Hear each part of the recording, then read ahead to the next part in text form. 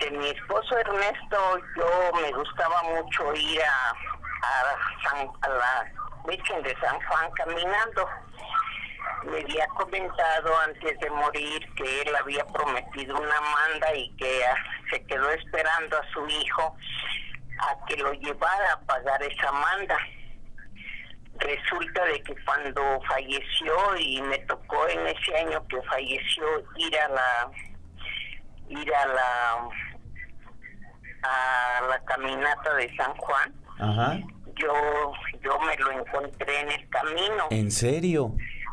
Y sí, y yo le dije a la que me llevaba, que me había invitado, que yo miraba a mi esposo y ella, ella para que no me asustara, me dijo que no, que era un viejito de, de allá de Valle de Santiago y que, y que no me fijara. Pero en ese, en ese instante yo le pedí, me acordé y le pedí mucho a la Virgen de San Juan, pues que le perdonara su falta de ir a, a visitarla y que yo, pues que yo me encargaba de pagar su, su manda, que echara sobre de mí la, el compromiso de, de manda que había prometido.